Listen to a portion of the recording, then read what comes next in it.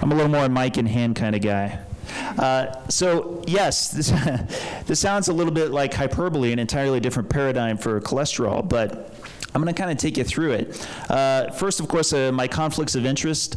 I usually get to say none, but because some people have been actually contributing as individuals to a business entity, we've had to accept that through my uh, wife's company, Iron Ninja Technologies, and that makes for some funny bedtime conversation because she'll say, well, you'll need to clean up your nightstand or you won't get funding for next quarter. Uh, this is also going to sound like hyperbole, but I actually record every single thing I ingest every single thing. In fact, I have a standing uh, rule for every single conference that if you can catch me ingesting something that I didn't take a picture of with my phone first, I'll give you $100. and since my wife hasn't collected on that yet, I gotta say the odds aren't looking good for you. And just this last Tuesday, I hit my 100th blood test in the last 32 months. That also sounds crazy, but no, since November 2015, I've actually had a number of different blood tests. And I'm doing this to really emphasize just how serious I am about the data I'm collecting, because what I'm going to show you next is also going to sound quite outrageous. So I just wanted to show this real quick. Uh, this also was a first. Two days ago, I had to get stuck five times in order to get the eight vials. It, it's almost as if my blood was on strike. So now I'm going to introduce something that I call the inversion pattern. And you'll know why in a second. Because when I went on a ketogenic diet, I went low carb, high fat, my cholesterol shot through the roof. And after that happened, I became very obsessed about learning everything I could about cholesterol homeostasis. And sure enough, as a software engineer, I kept seeing a familiar pattern. I kept seeing what looked to me like a distributed object network. Now, you don't need to know what that is, but I will tell you this much. It's about different objects talking to each other. And I stand by that original hypothesis all the way to this day, almost three years later. Now, what you're seeing is a graph. It's a very special graph that has the first eight data points that I got going all the way back to November 2015 up until a conference called Low Carb Vail. And those eight data points I got over three months time. And they said at that time that that's just way too frequent of testing. Like, I'm not going to get my cholesterol to change. It takes like three months to change your cholesterol. But I'm saying, no, no, no, no. It is like a network. It actually changes relatively quickly. And these first eight data points illustrate exactly why. And guess what? We see on that left axis a three day average of dietary fat. But on the right axis, in the blue, we see the resulting LDL cholesterol collected the day after those three days. So after that conference, after I presented, I told them in advance, I said, now I'm going to do something pretty outlandish. I'm going to do one week's testing where I actually take my blood every single day. And I'm going to eat to a food plan to try to induce the curves. So that's what I did. You see in the dotted line what I did. I, I brought down my dietary fat and then I brought it back up again. And so what happened to my LDLC? My LDLC went the other direction further move the inversion. Now, of course, as an engineer, once you learn something like this, your next step is to, well, go ahead and step on the gas. So at that point, I ate a huge amount of fat. What happened to my LDLC? My LDLC dropped to the lowest that I had done since I started my research. Now I'm going to go ahead and fill in the rest. There's quite a few fun stories past this point, but as you can see, there is quite definitely an inverse pattern. And I'm going to actually flip that axis on the right side so that you can actually see the inversion very closely. You ready? Now, let me go ahead and throw up the Pearson and the regression, and you can see just how tight this, re this uh, relationship is between each other. There's no question. While there are a few outliers that you can see in three different spots, one at the first third and one that's uh, about halfway through and one that's over there, for the most part, they don't deviate that far from the mean. So, this is what I mean by dietary fat inversion. Basically, right now, this is happening on a uh, Thursday morning. If I took my blood this morning, what I would do is I would look back yesterday, Wednesday, the day before that, Tuesday, and the day before that, Monday. And from that, I would know what the greatest influence was on my dietary cholesterol on a ketogenic diet. Well, that's what this graph is. Each of those couplings are the three days before and the resulting LDLC. Let me kind of really drive this home and put this another way. There isn't anything in this graph that represents days four and before. It's only that three day window. So, Now, we look at this in a scatter plot, we can actually see the regression line. You can see for yourself just how tight this relationship is. Now, I thought that maybe LDL particle count would go by the same equation. It actually doesn't. And it was that week long experiment that I found this out. It does still have a three day window, but interestingly, it has a two day gap. And I've talked to a number of people about this. I don't have enough time in this presentation to explain what my, uh, my estimations are, but if you ignore the two day gap, and you look only at those three days before that, so like using the same example of this Thursday morning, we'd be looking at Monday, Sunday, and Saturday of the days before, we would get a graph that looks like this. And this is the same 29 data points I showed you from earlier, only this time the dotted orange line represents that three the, those three days with the two-day gap, and the purple line now represents LDLP. And I'm going to flip that axis again so you can see just how tight that relationship is. And get this, the regression is even a little bit better. On the LDLP, so the particle count is surprisingly also following by the same level of an inversion pattern. All right, so where am I going with this? Well, basically, that network that I saw early on, I hypothesized, and thus far I seem to have lots and lots of accumulating evidence, ultimately comes down to the fact that cholesterol is just following an energy distribution system. That's what it really comes down to. And to unpack this, I want to have to, I'm going to have to take this back a little bit to the three channels of energy you're already used to hearing about all the time. You're used to hearing about carbs and protein being converted potentially to glucose. And you hear, of course, all the time about fat being converted to ketones, hence the ketogenic diet. And you can be forgiven if you've thought this whole time that all fat gets converted to ketones in order for you to be fueled by it. But Actually, no. There's this whole other world by which you get direct fatty acid delivery to your cells. And in particular, I want to focus on one channel, the channel of triglycerides being loaded up onto these two lipid-carrying proteins known as lipoproteins, the chylomicrons and the VLDLs. Let's break it down just a little bit further. Think of them kind of like boats. It's not really how they look, by the way. But the triglycerides get loaded up in a chylomicron in your gut and effectively end up going into your bloodstream and very quickly drop off those triglycerides to your tissues. Lots and lots of energy delivery, and very quickly come to chylomicron remnants. And this happens within minutes to hours at the most, before it then eventually gets reabsorbed by the liver.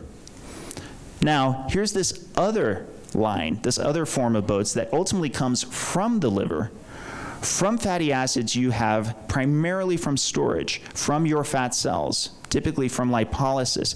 These guys are counterbalancing the brown line, the chylomicrons.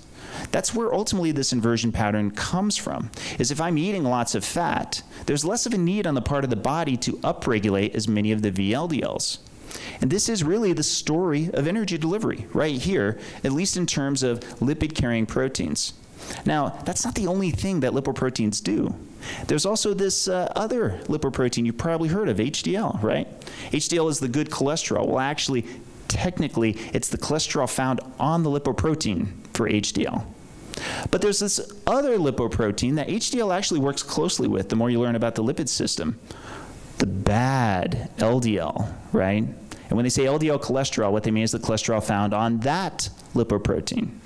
Well, when we put this all together, because this is the support side of the fence, we're going to go ahead and draw a dotted line. We see energy deliveries on one side, and we see supports on the other side. So, watch closely. Energy delivery, support. Energy delivery, support.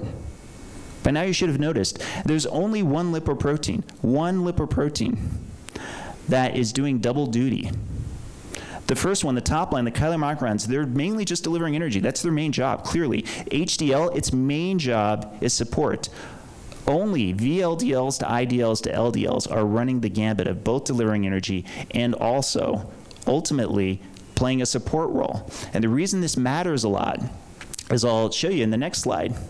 Because you probably hear all the time VLDLs and triglycerides, especially at a high level, tend to be associated with disease, right? Well, they are when they're found lingering in the bloodstream. In fact, it isn't the VLDL and the triglycerides use that is the problem, it is their lack of use. And this is commonly associated with insulin resistance and exceeding one's personal fat threshold. This inability to park the triglycerides necessarily means VLDLs will remain longer in the bloodstream, which is a clear sign of trouble.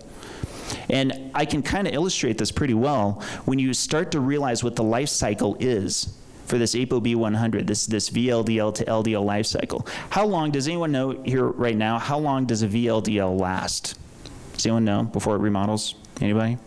All right, it's about 30 to 60 minutes. How long does an IDL, the intermediate lipoprotein, last? Anybody? 30 minutes or less. How long does an LDL last? Two to four days.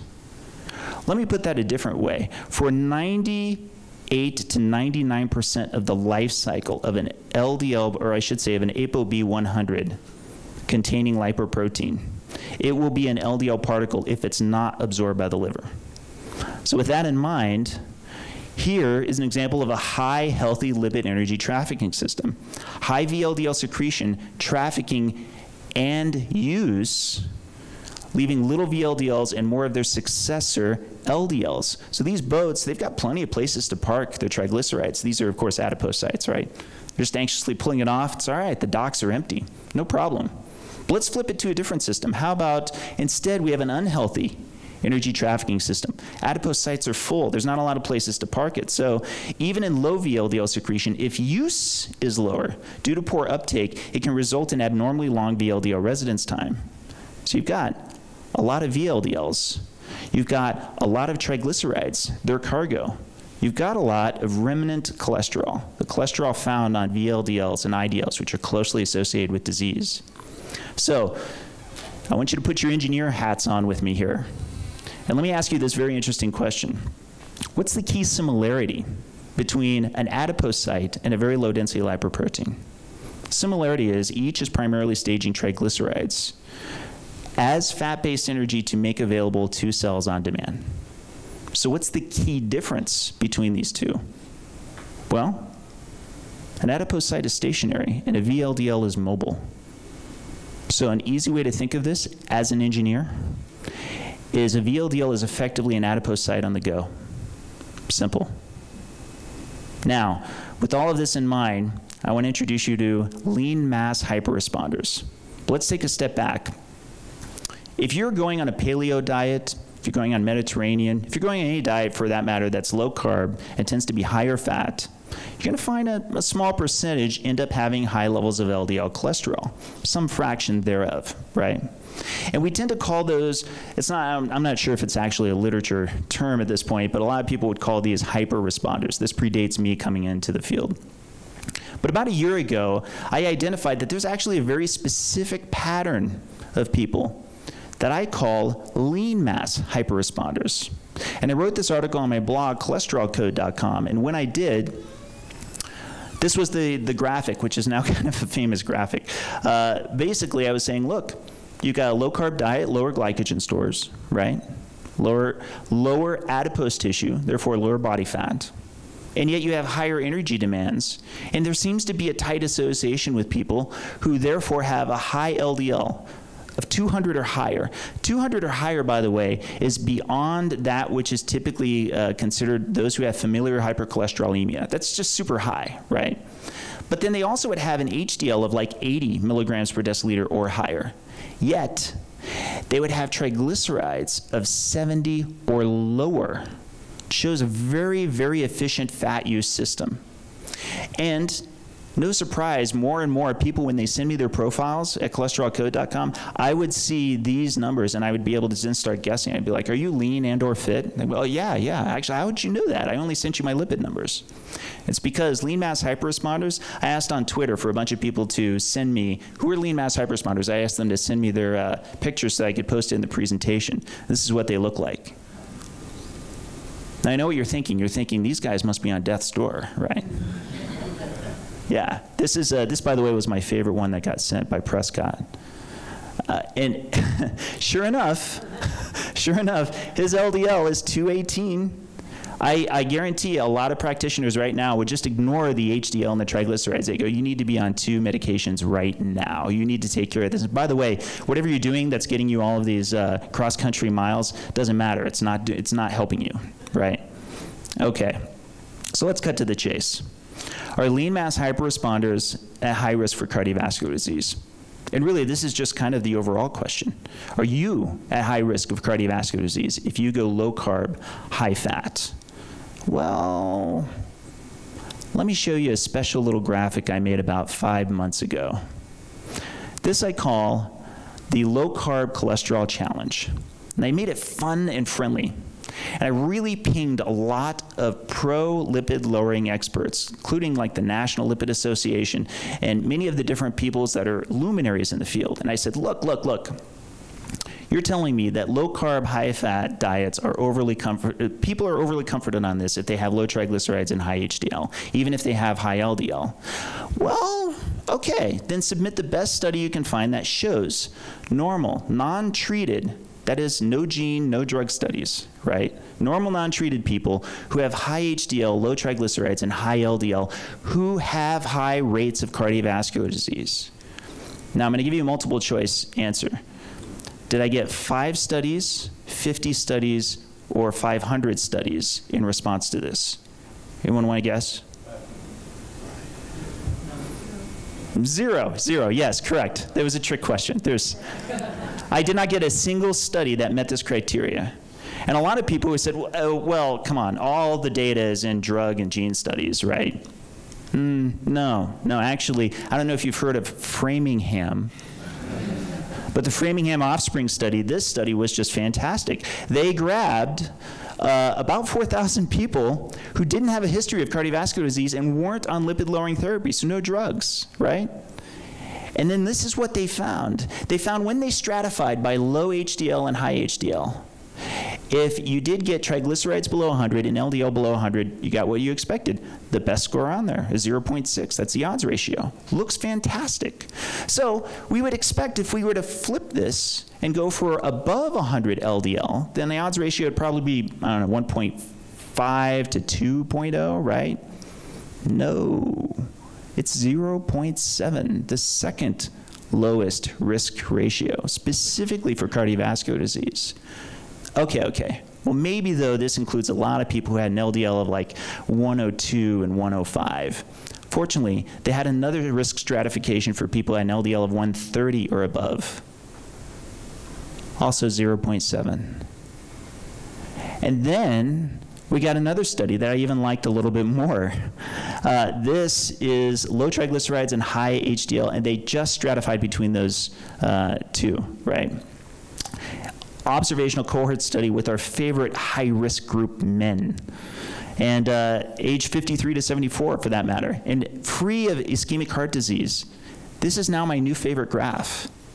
I want you to look closely because what's happening is, is they're stratifying between people who have super high levels of LDL, 170 or below, and those who have above 170 over here on this side.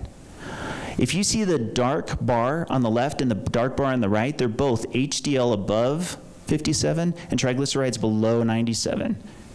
And they're nearly identical. Even better, you could go to the other side of the strat. And if you see that if your HDL is below 46 and your triglycerides are above 142, it doesn't matter if you get your LDL below 170. It doesn't matter if your LDL is above 170.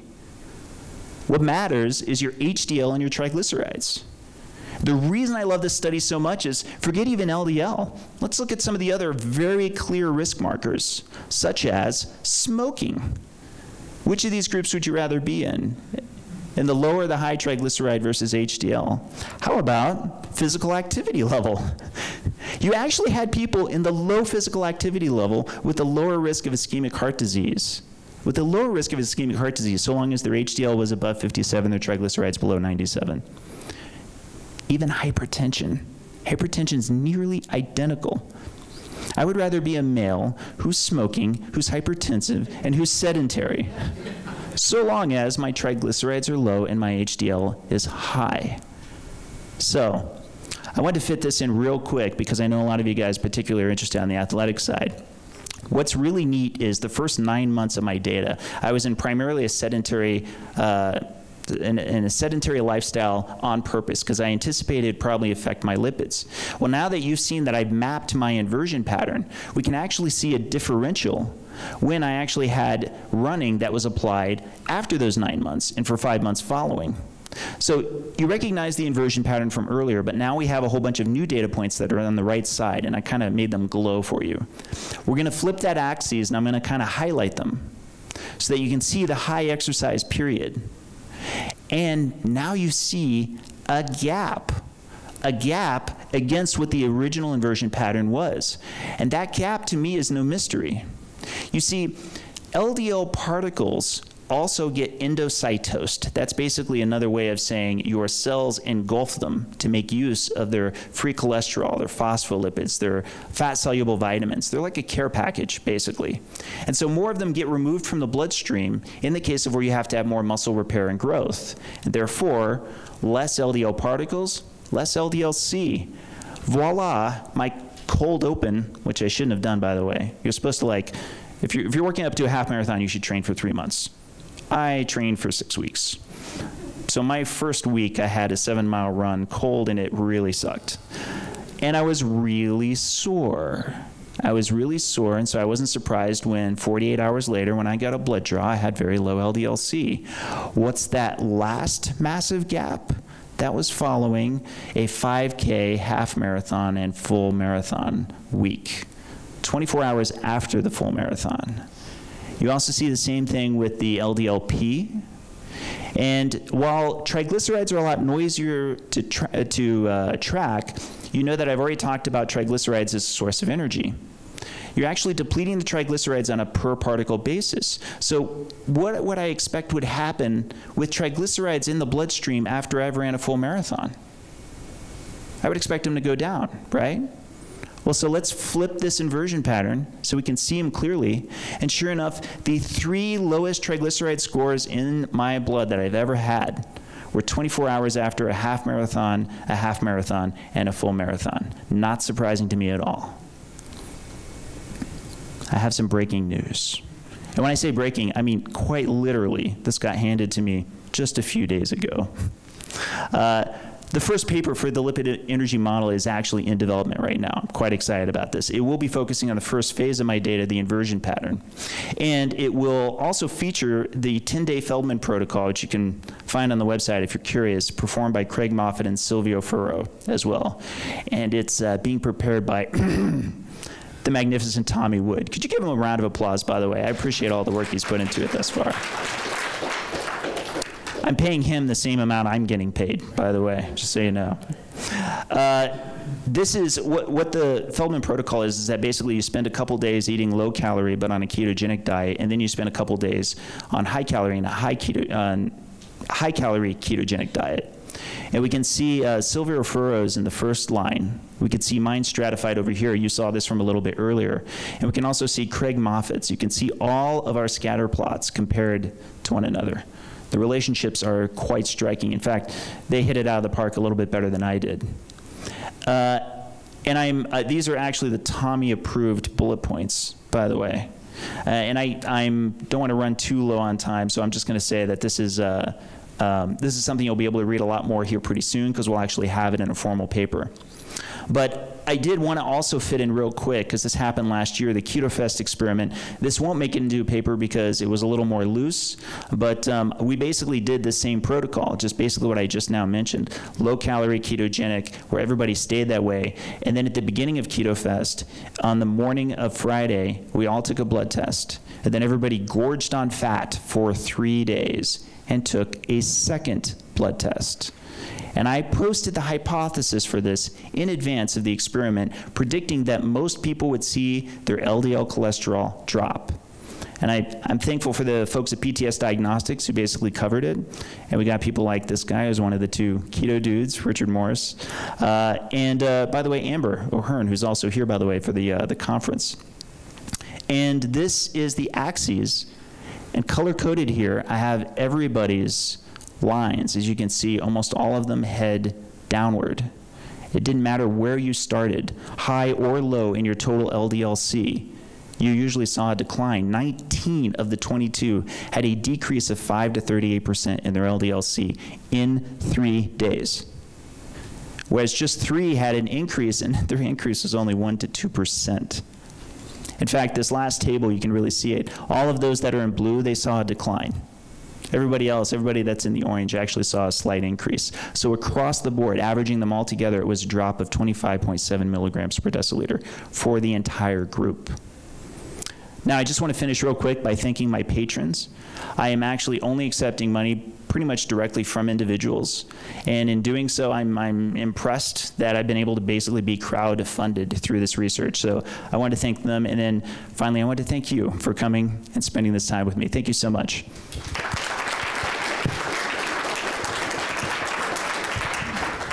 Do we have any questions for Dave?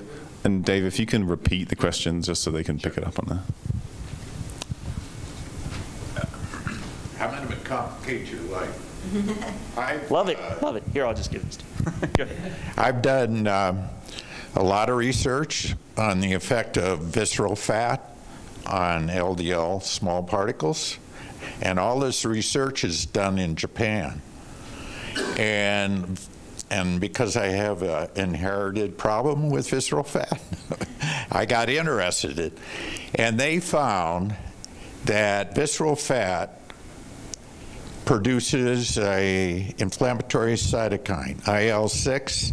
IL-6 uh, reduces HDL particles. And they found that if you could get rid or reduce your IL-6, H, uh, HDL2 particles, HDL3 particles go up. And they found that those are the two sets of particles that cleans out LDL. And so consequently, they, they, their big push in Japan is to reduce your visceral fat to reduce heart disease. Well, I definitely agree with reducing visceral fat. Uh, just real quick, per what you're talking about, cytokines are a, a signaling molecule, of course, um, that's basically a cry for help. And it's true, at a certain threshold of cytokines, the liver actually upregulates LDL particles. And there's um, uh, my colleague at uh, cholesterolcode.com, Siobhan Huggins, actually gets into this quite a bit. She's even doing a talk this weekend on it. Uh, and so, for sure, one of the things that I definitely recommend is, is the reduction of visceral fat, visceral fat being the uh, fat that collects um, underneath the muscle and it's actually uh, much more concerning because it can intertwine with the um, with the organs and so forth. Bottom line is, uh, adipocytes, your adipose tissue is really your best friend for staging and providing energy. It's when fat is getting accumulated, and that's why I showed that uh, slide from earlier where there's like an accumulation of fat in your adipose tissue where you've like reached your personal fat threshold and you can't find a lot of other places to store it, that it has to then get stored in other places.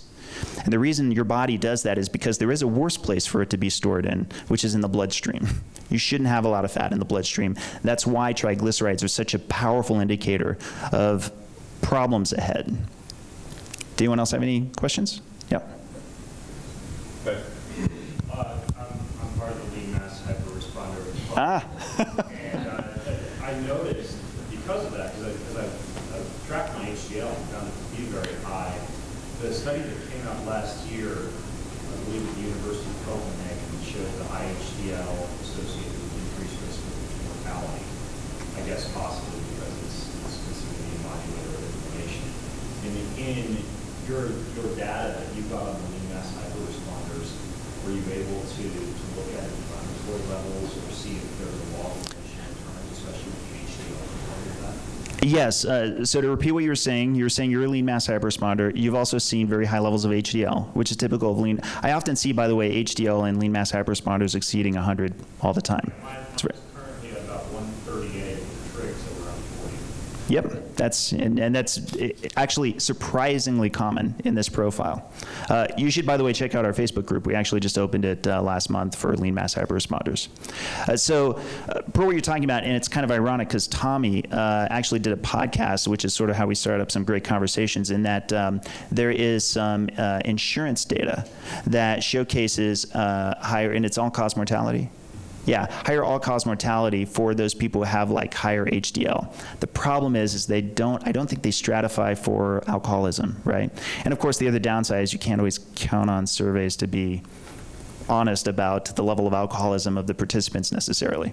The the problem is is that in order to um, disentangle the potential alcoholic impact on HDL cholesterol, you have to actually be able to determine that toxicity. And per what you're talking about with inflammation, that typically comes with the inflammation. But there's also something else that's exciting about it. Typically, you find in those people who have very high levels of HDL, who are alcoholic, high levels of triglycerides. And so usually you'll tend to find that there already is some uh, dysregulation that's going on within the lipid system. And that's why I always couple the two. If your HDL is high and your triglycerides are low, it's very likely you are a very efficient fat burner in particular. And you actually don't have a lot, you probably don't have uh, a lot of excessive energy parked in your bloodstream. Uh, so the other thing I want to mention is this is a little bit theoretical, but I actually believe that another reason lean mass hyperresponders see a higher level of HDL is because there's actually some degree of peripheral energy distribution on the part of HDL particles that is still relatively new. Like it's, it's I even almost had in my channel, but it's still somewhat theoretical.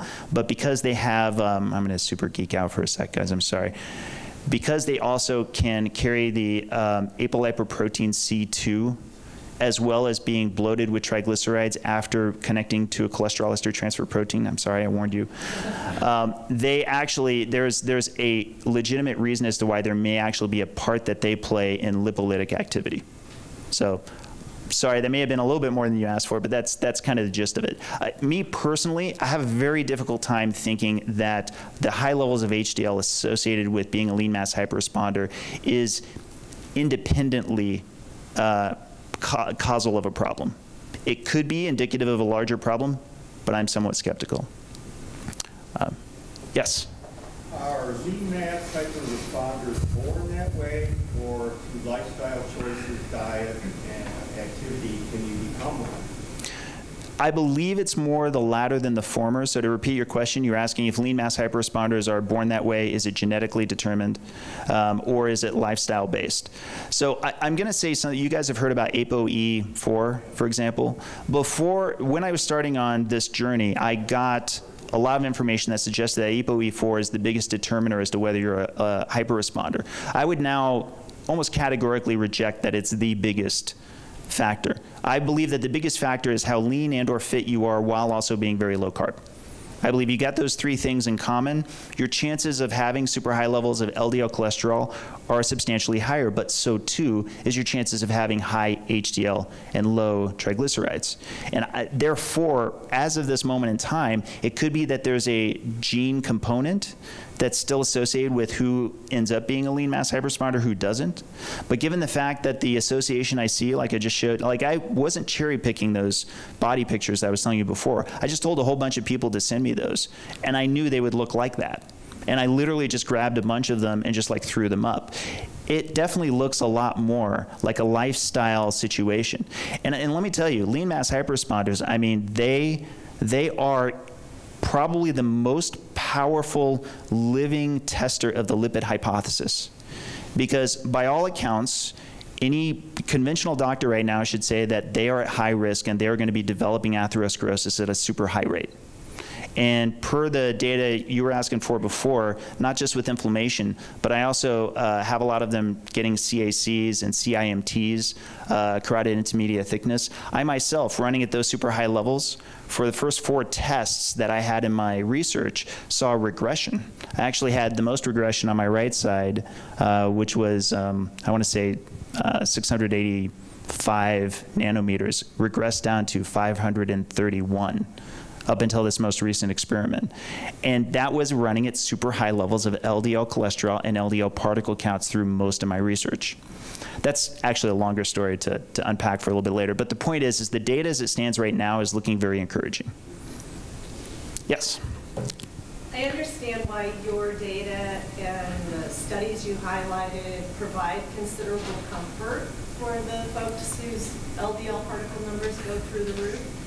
Um, But we do hear that one of the problems with that is that, and you mentioned this lingering issue, that that there- the LDL particles at those high numbers are more likely to stay in the bloodstream and more likely to become damaged with oxidation. Can you say a little about this matter of oxidized? Yes, yes. So to to your point, you were asking the question on what about the concern of oxidation? Because as I'm sure a lot of you have heard, if you have if you have like let's say a thousand uh, nanomoles of LDL particles, that that's more preferable to having 2,000 because 2,000 are more likely to be oxidized. And the truth of the matter is that from my perspective as it stands right now, I feel surprisingly, I've, I, again, it's an engineer following the data. Mechanistically speaking, I think I would rather have more LDL particles to attack the same level of oxidation. It's the oxidation that is ultimately the biggest problem that we're looking for. And if part of the job of LDL particles are to clear oxidation. I mean, it's part of why they have oxidant, antioxidants on board. It's part of why I believe that they intentionally get their phospholipid shells oxidized is because it's part of their method of clearance. That's still preferable to the naked tissues of your endothelial cells that, that line your, your vessel walls getting oxidized instead, or for that matter, uh, being exposed to free radicals, because that can cause a cascading inflammatory effect. I would, or I would rather there be a controlled inflammatory burn than one that ultimately has to get addressed too much later. So, in a sense, no, I, and following the data as it stands right now, all things considered, I think I would rather have more LDL particles than less. Again, to meet with the existing uh, demand against the oxidative stress that there already is. I, this is one of my problems with people taking on a lot more polyunsaturated fatty acids, especially you know hydrogenated.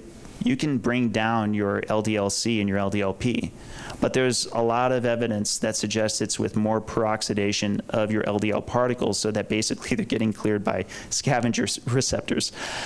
I think a better way to lower your LDLP or LDLC is to just have more carbs if that's what you're into. I don't think it's a good idea to find strategies to oxidize it so that you get a better blood test. That's just my two cents.